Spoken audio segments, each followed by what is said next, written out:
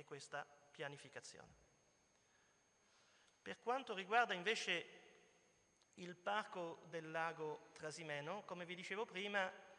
la uh, questione è, ancora più articolata. Ovviamente questo parco, uh, questo parco, è stato istituito dalla Regione nel 95, nel 1995, è, più, è, uno dei sei parchi regionali, è il parco più esteso, anche perché abbiamo tutto lo specchio lacustre. Una delle particolarità di questo parco è praticamente costituita dallo specchio lacustre e poco più.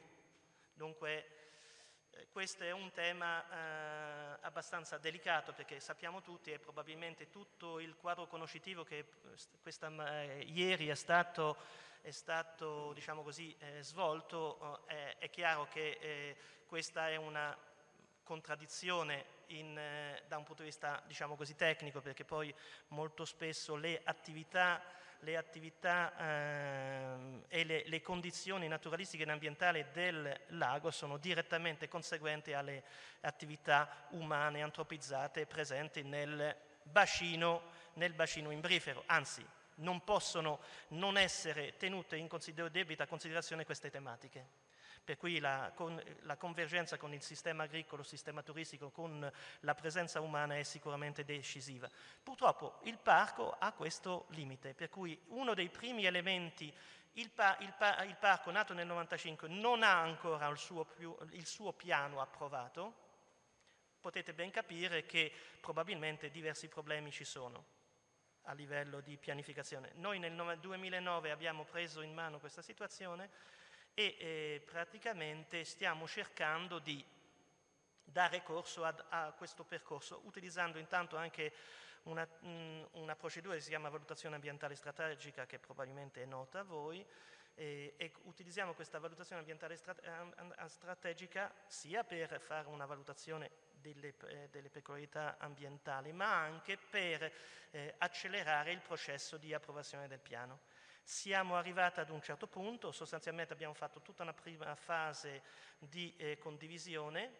e, mh, mm, e, siamo arrivati al punto della uh, presentazione da parte di un gruppo tecnico, anche qui eh, eh, di natura scien eh, scientifica, qui vedete anche c'è la collaborazione dell'Università degli Studi di Perugia, mh, mm, per cercare di arrivare a una definizione di un piano del parco che sia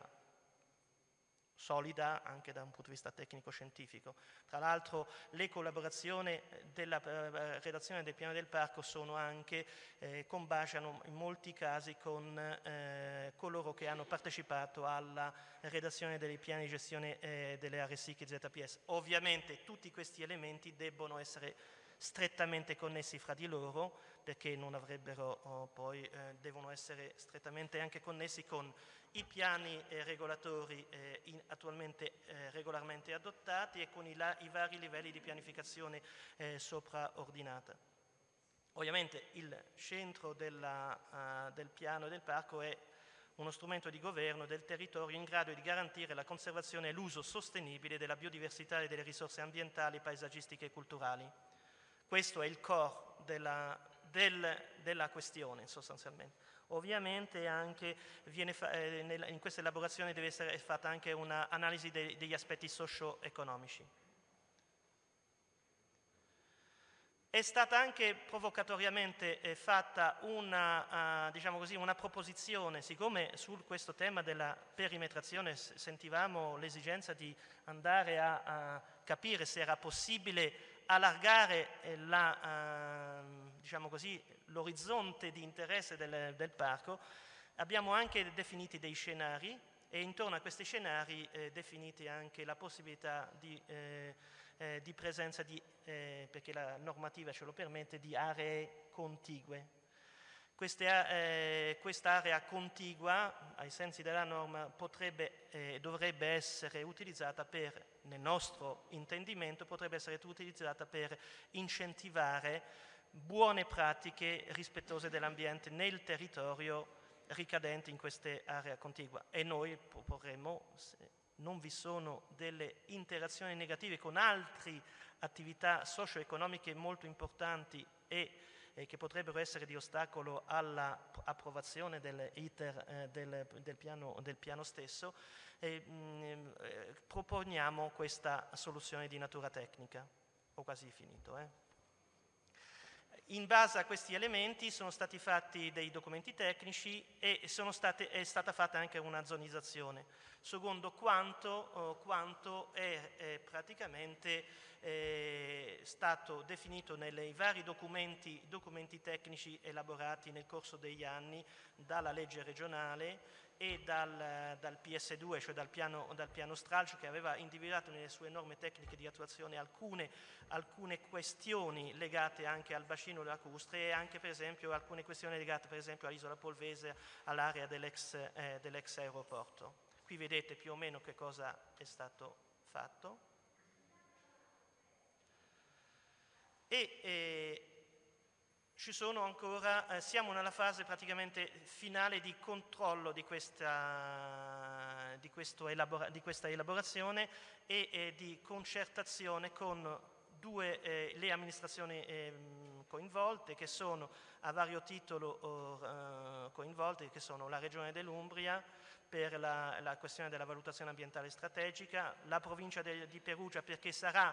colui è l'ente che dovrà poi cioè approvare il percorso e approvare il piano del parco, per cui è strettamente connesso alla, uh, alla, suo iter di approvazione una sinergia con la provincia di Perugia e anche perché la provincia di Perugia ha forte, una forte competenza in questo campo. E poi la verifica delle, delle conseguenze che ci possono essere con gli aspetti eh, venatori per quanto riguarda la presenza delle attività, eh, della, della, eh, delle, delle attività di incentivazione per le aree contigue. I compiti del parco qui sono qui elencati, dunque sono già stati individuati. Eh, faccio presente che eh, attualmente il parco del lago Trasimeno vive con eh, 50.000 euro fino all'anno scorso e con 20.000 euro all'anno. Potete ben capire che stiamo parlando, stiamo facendo un'attività di pianificazione, ma poi alla fine eh, non abbiamo gli strumenti, eh, gli strumenti eh, concreti per poterla eseguire. Per cui rischiamo di scrivere una documentazione che poi fatta perfettamente, ma eh, la problematica delle risorse è comunque una problematica molto cogente sia per l'aspetto della pianificazione delle aree SIC e ZPS, perché lì sostanzialmente esiste nella, ehm, nella, nella, nel piano di sviluppo rurale delle specifiche azioni fatte per incentivare le aree naturalistiche, ma ancora non hanno visto la, il giorno e, e dunque eh, per dare credibilità alla precedente pianificazione sarà necessario fare, dare corso a questa attività di pianificazione a livello regionale, perché poi in questo modo potremo incentivare buone pratiche e anche attività gestionali compatibili con gli indirizzi del piano, dei piani di gestione delle aree SIC e ZPS. Per quanto riguarda il piano del parco, bisogna che qualcuno finanzi queste attività in vario modo perché ci sono anche attività scientifiche, attività di, vigilanza, attività di, eh, che vanno in qualche maniera attivate. Per chiudere volevo anche far presente che la comunità montana svolge anche sullo specchio lacus varie varie competenze che sono secondo me eh, anche attività gestionali di eh, grossa importanza, una delle quali è la manutenzione della rete idraulica, ma credo che poi ci sarà eh, l'ingegnere Viterbo che eh, penso ne, ne, parlerà in maniera eh, più approfondita e risponde del lago Trasimeno, sostanzialmente è attualmente colui che in gran parte svolge, per esempio abbiamo fatto tutto un grosso lavoro sugli immissari del lago Trasimeno, su tutta la rete scolante del lago Trasimeno. Stiamo lavorando, avete visto dieci giorni fa l'inaugurazione della, della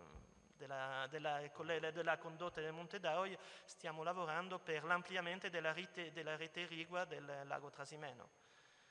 Facciamo interventi anche verso la uh, fruibilità turistica, facciamo per esempio la realizzazione della pista ciclabile lungo il lago Trasimeno. Sono tutti elementi che comunque sia sono non strettamente legati a una gestione naturalistica, ma comunque sono importanti per la gestione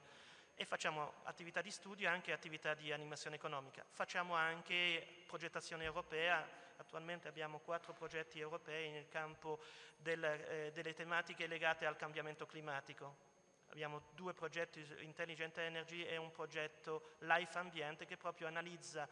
in che modo la, il, comportamento delle aziende agricole eh, si relazionano con le tematiche del cambiamento climatico e faremo audit energetici per cercare di andare verso la sostenibilità ambientale di alcune aziende, 25 aziende agricole faranno questo lavoro per capire in che modo eh, si relazionano con la produzione dei gas effetto serra. Grazie, scusate. Grazie. Ringrazio Luis Montagnoli che oltre a questa attività fa anche tutta un'attività di promozione dei sistemi di gestione ambientale nei comuni del parco. Credo che abbia anche, eh, la Comunità Montana anche creato un, eh, un logo un, eh, che non è una certificazione EMA, ma sostanzialmente simile a quella.